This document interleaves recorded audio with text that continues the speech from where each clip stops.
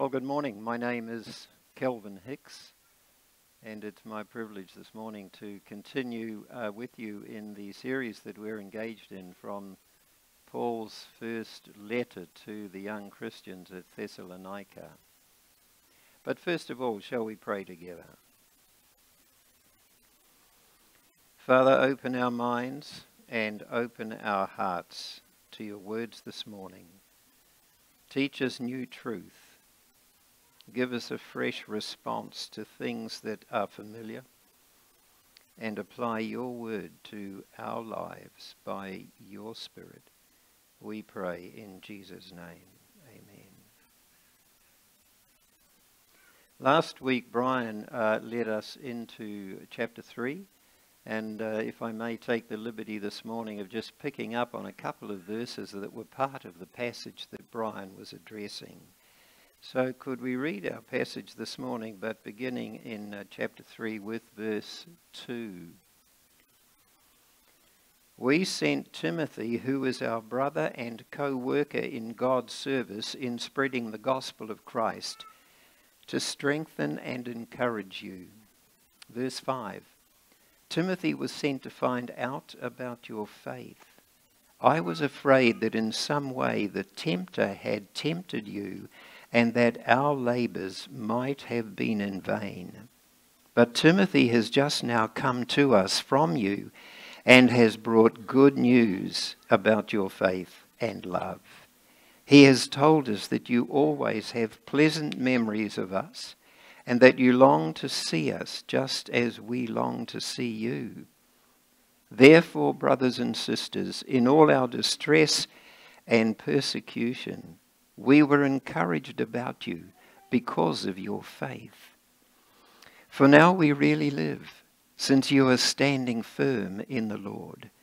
How can we thank God enough for you in return for all the joy that we have in the presence of our God because of you? Night and day, we pray most earnestly that we may see you again and supply what is lacking in your faith. Now may our God and Father Himself and our Lord Jesus clear the way for us to come to you. May the Lord make your love increase and overflow for each other and for everyone else, just as ours does for you May he strengthen your hearts so that you will be blameless and holy in the presence of our God and Father when our Lord Jesus comes with all his holy ones. It's often said that no news is good news, but that's not necessarily the case. I'm sure that's been your experience too. It can be better to at least know one way or the other because that period of time when you know nothing and you're just waiting to hear the result can become quite a period of anxious anxiety until the news breaks. Well, I suggest that's precisely how Paul was feeling here. Timothy has been away for quite some time, for an extended period, really revisiting the young Christians in Thessalonica. Paul, is, uh, Paul stayed back in Athens because they figured it was better for him to keep his head down for a while. And so Timothy went on his own. And during the weeks that he was gone, Paul has heard nothing. No email, no text messaging, no mobiles. During the weeks he was gone, nothing has been uh, received. And he is desperate to hear some news. And then suddenly one night, Timothy finds the flat where Paul has been hiding, the basement flat. And he enters the flat, drops onto a chair, totally exhausted. And when he catches his breath, he delivers the critical news in short bursts. They're okay. They're doing fine. They're standing firm. They're showing love and care for one another. And their faith is progressing. And of course, those were just the very issues that Paul was anxious to hear about. and he is absolutely delighted. And in verse 6, he refers to it as good news. Well, interestingly, it's the same word that is used there for good news as the word that is used for the good news of the gospel, the good news of Jesus Christ. For sure, Timothy had lots more news to pass on, but I guess it was the following morning before he caught his breath sufficiently to get back up where Paul was and to share the other news with him. But certainly, Paul would have been interested to hear anything that uh, Timothy was able to pass on. Sophia is engaged to Tychicus. Gladys and Philemon have a new baby. John Othius has won the provincial, uh, provincial marathon, and Stephen has earned second place in the discus. Philip's tent making business is going well. Sales in the past 12 months are 30% up on the previous year. Susan has recently been appointed lead harpist in the municipal orchestra. Just last month, Pamela graduated Bachelor of Cultural Studies from the University of Thessalonica. Jason has just traded in last year's chariot on this year's latest model with an extra wide wheelbase. Peter has just been promoted to production manager of Claypots Incorporated. And just last week, Claudia returned from a six weeks OE around the Mediterranean. And Paul would have been intently interested to whatever that personal news might have been at that time. It was almost intriguing news, but in the back of his mind, all the while, was the priority news that Timothy had reported the previous evening. They were growing in their faith and love. This was the crucial news because it targeted the critical issues for Paul. Ever since he left these young Christians some months ago, he had a special concern for them, concerned lest the pressures and the stresses that they faced got them down. Would they hang in? Would their faith survive? Or would they flag it under stress? Chapter 3, verse 5, he says, This is the reason I sent Timothy to find out about your faith I was afraid that in some way the tempter might have tempted you and that our efforts might have been useless. But Timothy has just now come to us and brought good news about your faith and love. Lots of newsworthy things have happened to us, haven't they, at ABC Church in recent months? Edmund has bought a house. Stephen has had a significant birthday. Greg and Judy have spent a mystery weekend in Christchurch, last weekend, I think it was. Lorna has had a great hockey season this year. Tissa left for the United States Tuesday last week to spend some weeks back there with his family. Helen, uh, Hayden and Natasha and family had a great skiing holiday recently. Matt and Alex have just about completed, correct me if I'm wrong, Matt, just about completed your major renovation uh, on your house.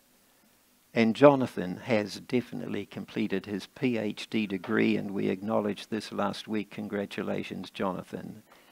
Four years of additional study. The list of newsworthy things goes on and on, and hopefully each of us could fill a page with positive things re- relating to our personal lives. And if the Apostle Paul was pastor here at ABC, of course he would consider these sorts of events most important, same as Hayden does. A job promotion, an A or B bursary pass, selection for the first 11, personal sales up on last month, returned home after two weeks OE in America. But guess what Paul's prime interest would be? How's your faith? How's your love? Is there any good news to report on that front. Paul would say the greatest news to hear about someone is the fact that they are advancing in their faith. They are learning God's words and they are living God's ways. Someone who is expressing God's love through their lives. And so he would say to each of us, How's your faith? How's your love? Is there any good news to report there? These are the critical issues. You know what Solomon said? He said, Everything else is vanity. At the end of the day, everything else will pass away. In other words, it's empty, it's futile, it's short lived. Rust and decay will set in. Your, your, your, your carpet will wear thin. You'll hang up your soccer boots. Your Nike gear will go out of fashion. The mags on your wheels will lose their sheen. Someone, perhaps, will succeed you as CEO. And good and all as these things might have been, they haven't really got a future. What's cool this year will be history next year. But your faith and dependence on God's word and your love of his message give you a future. Give us all a future. Way beyond the fads and fashions of this year and last year and next year.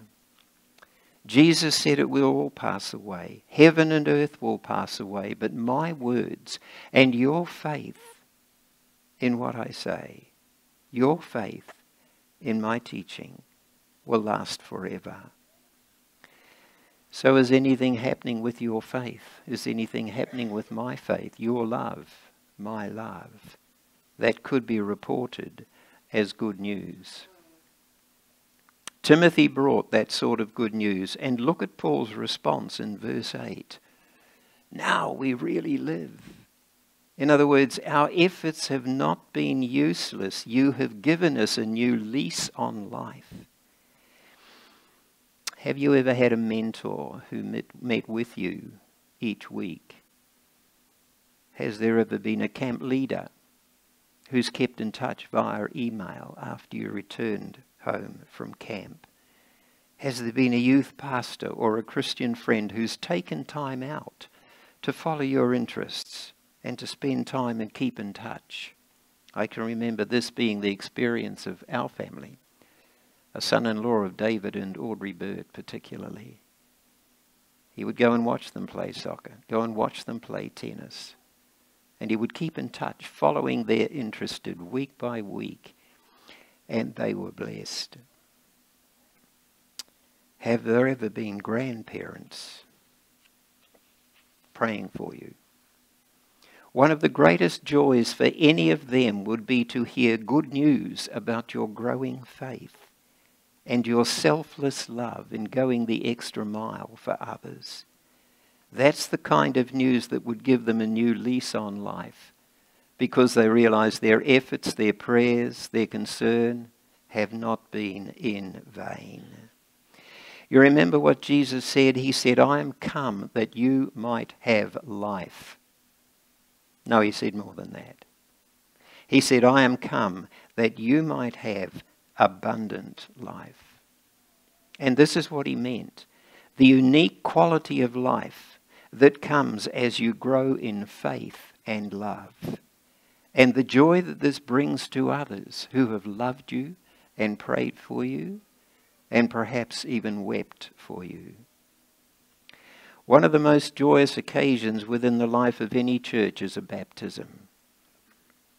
It gives the church a new lease of life when a young person or an older person says, I want my faith in God and my love of Jesus the Savior to be the prime focus of my life. And I want to share that message by being baptized. That's great news. And that's what can add to the abundant life that Jesus spoke about. Paul said, Now we really live. Life is purposeful. Life is rewarding. Life is joyful. Life is abundant for us. Now we really live. But he added another thought in verse 8. Now we really live since you are standing firm in the Lord. I recall the incident I heard of a young woman who buckled under pressure as some years ago now. She failed to stand firm.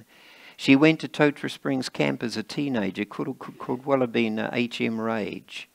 She appeared to have accepted the truth about Jesus uh, as a reality in her own life, in her personal way. She attended Nairi Avenue Church for some years. She enrolled in a one year course at a Bible school.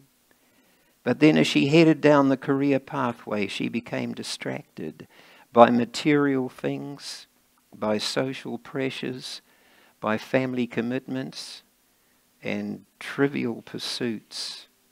And they brought their pressure to bear, and she lost her footing in faith and love. She failed to stand firm, and years later, at that time, she was adrift on sinking sand. This was the concern that Paul had for the Christians in Thessalonica. Sure, it was different pressures that they faced. I mean, there was no social media pressure, there was no advertising pressure. But there would still have been family pressures, social pressures, cultural pressures, peer pressures, business pressures, moral pressures. And of course, they faced the pressure of overt persecution. Paul knew that most of these pressures can become tools of the tempter. And as he says in chapter 2, verse 5, and Brian addressed this last week with us too. I was afraid that in one of these ways the tempter might tempt you and that you would fail to stand firm. Marion and I well remember some years ago when our son Brendan attended the funeral of an 18 year old school friend from Mount Roskill Grammar. The driver of the car that she was in ran off the road and over a bank and she was killed. They were both 18 and both drunk. The driver of the car that she was in drove off the road. What a tragedy. I've wondered what pressures, though, she may have felt, she may have been put under throughout that evening before this tragic outcome. Perhaps she was even pressured to go out with this particular group that night. Possibly she was pressured to have an alcoholic drink and then another one. Was she pressured, lured to get into this car? Instead of standing firm, maybe she was pushed around and she lost the self determination that she needed to resist the pressures and to stand her ground. Have you ever taken a detour off State Highway 1, uh, State Highway 1 when you've travelled south to have a look at any of the dams across the Waikato River? Karapiro, Atiamuri, Mangakino are just three of them. Massive concrete monoliths standing in a gap across the river, holding firmly to the foundations and to the anchor points of the dam against unbelievable pressure from thousands of tons of water. That's what Paul means here, standing firm in the Lord, verse 8, against the pressure of the tempter, holding securely to the foundations of God's word, and claiming the power of his Spirit as an anchor to give strength to stand firm against the tempter. It sounds as though that young woman lost her foothold on faith and love because of the pressure to go with the flow, to conform to the norm, to adopt the mindset of social media, to be swayed by the advertising. And then years later, she was drifting in the backwash of life when she could have been out there on the cutting edge of faith, living an abundant life, enjoying the experience of serving others and giving glory to God. How firm is your foothold against the pressures of the tempter? How firm is mine? Paul is jubilant. He says, Now we really live, since you are standing firm in the Lord, standing firm under the stress from the tempter. And so, what he says in verse 10 comes rather as a surprise.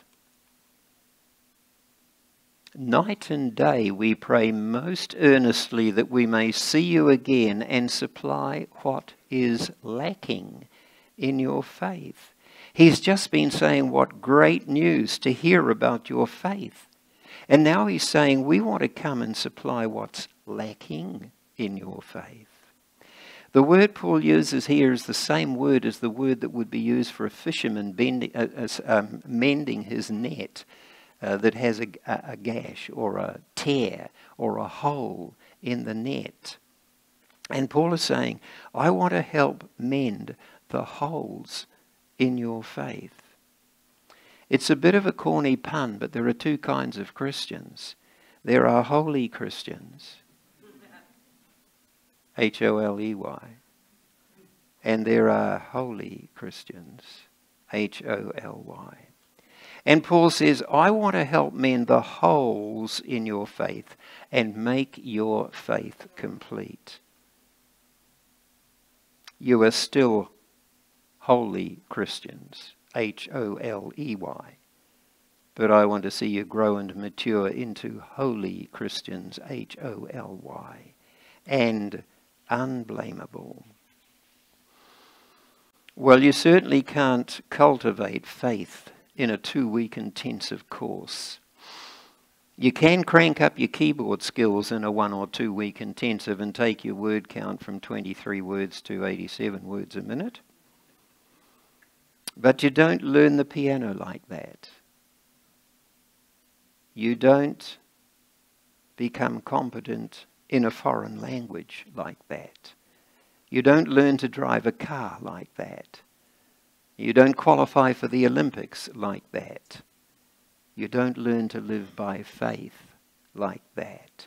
Paul encourages them, there's no doubt about that. Great news, standing firm.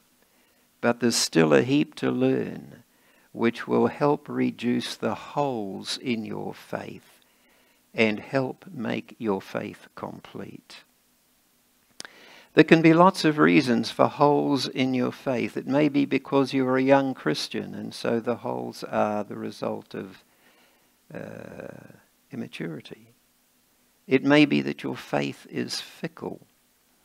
It may be that you are strongly independent, and faith is most unnatural.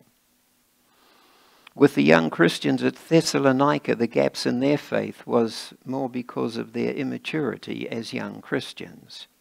What about you and me? If there's something lacking in your faith or mine, what's the reason for that? Are you a young Christian? Then it may be immaturity. Have you been a Christian for a while? Then it ought not to be immaturity. Perhaps it's fickleness. Perhaps it's faithlessness or self dependence or something else. On an occasion, some years ago, in fact, but I clearly recall I said to Marion, I really don't know if I'm going to manage over these next uh, month or so. I've got a series of lectures to prepare for a new course. I'm chairing the panel and having to write the report for a five yearly review of another degree. I have a Bible Hour message to think about and prepare, and the first assignment is due in March for the Massey paper that I'm enrolled in. And it's all happening over the next few weeks. And Marion paused for a moment. She said, You need to just have a bit more faith. She can be quite direct. Although I'm reluctant to admit it, she was right in some measure. I was thinking I don't have the time to cope adequately with that sort of load. I was not praying much about it either. I was not trusting the Lord for inspiration and the ability to manage time to best advantage. These were some things lacking in my faith. And I learned something out of that. Paul said, We want to come and help you learn to fill the gaps in your faith.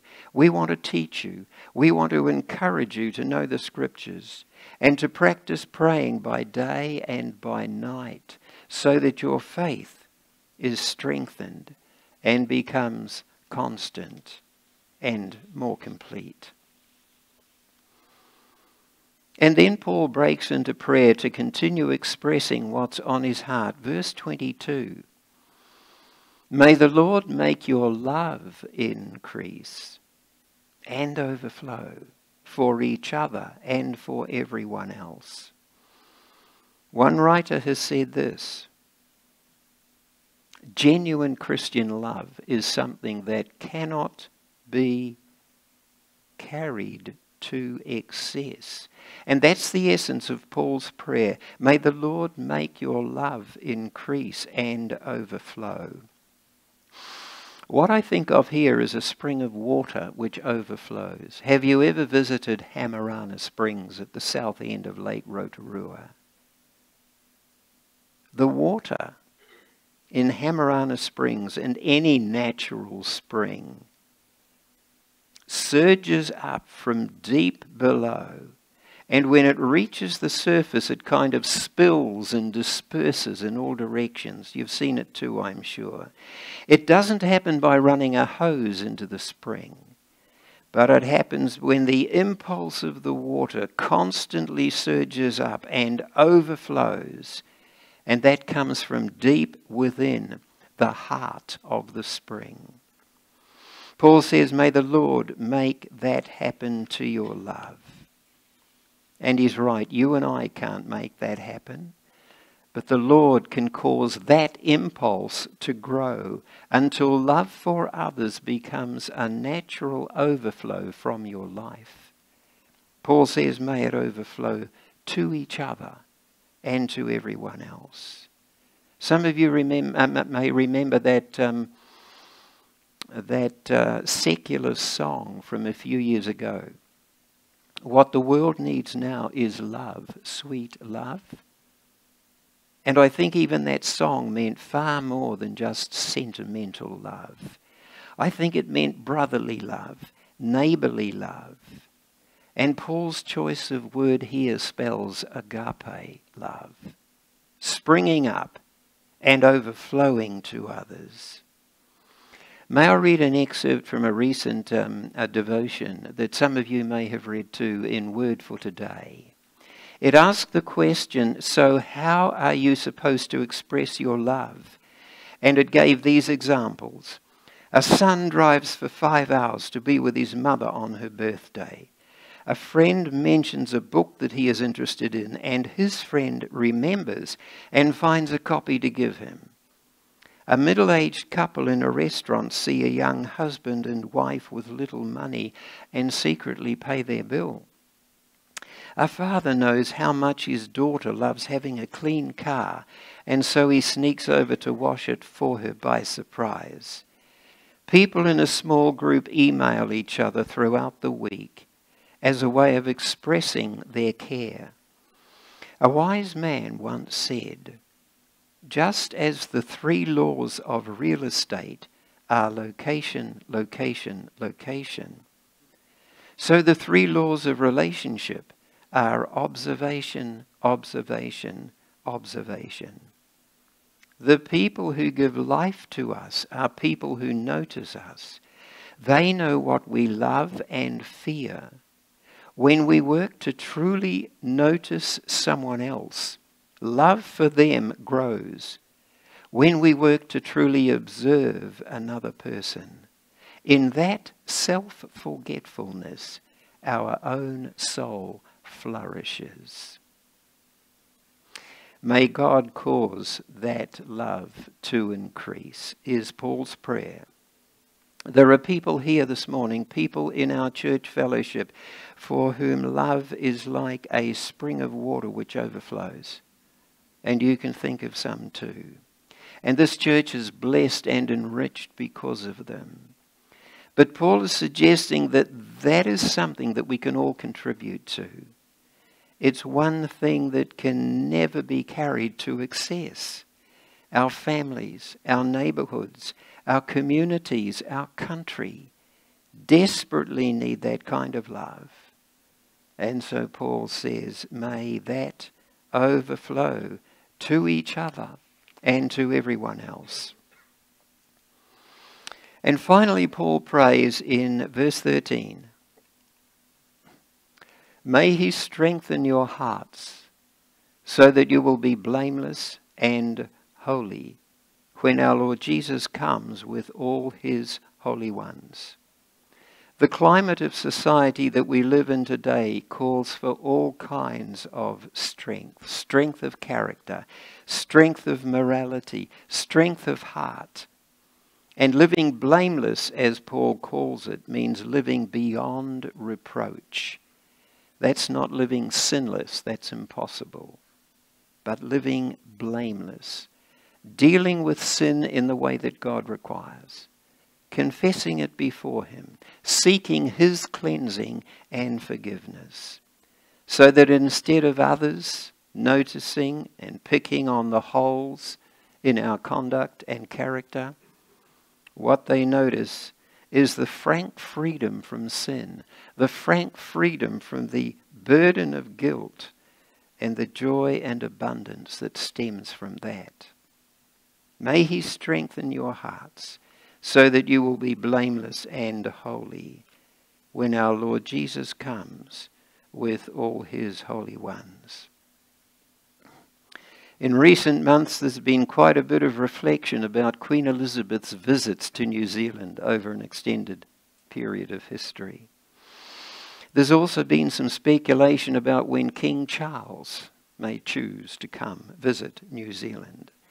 And in chapter 3 and verse 13, Paul is reminding the Thessalonians of another royal visit when Jesus Christ comes back. And he is indicating how they and we can be prepared for that. First of all, having a good news kind of faith that has continued to grow. Secondly, having stood firm against the pressures of the tempter, strengthened in the Spirit of the Lord. Thirdly, having increased in love until it overflows like a spring in bringing blessing to others. Fourth, having pursued blamelessness by keeping short accounts in confession before God. And fifth, having favored holiness by being prepared to stand tall and glorify God in a sin sick society. That's Paul's checklist. A growing faith, a firm standing, a selfless love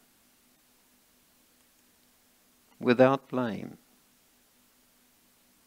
and practicing holiness. Doesn't it bring a different perspective to life? Being ready for the Lord's coming brings different priorities into focus. And of Paul, Pastor Paul, the Apostle Paul, Pastor, was addressing us this morning, he would be saying, How's your faith? Are you standing firm? Is your love increasing? Are you living blameless? Are you growing in holiness? These are the things that warrant those words of welcome. When Jesus returns on his royal visit, well done. Enter into the joy of the Lord. How ready are you? How ready am I for the Lord's return? Sure, I'm a child of the King, but is my faith and my love newsworthy? Do they warrant those words, good news? And will I hear those words of welcome? Well done. Shall we pray? Father, you are well aware of the stresses and pressures that we face day by day. But we thank you for the resources that you have given us in your word and by your Spirit to deepen our understanding of your presence, to strengthen our commitment to your purposes, and to enrich our experience of life here and now as we await the royal visit of Jesus' return in the fullness of time.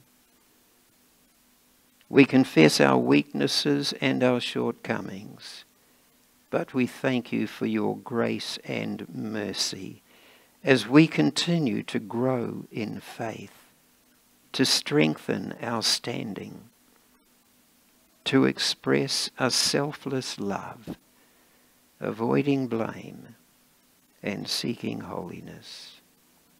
Thank you, Father, for your love of each one of us. In Jesus' name we pray. Amen.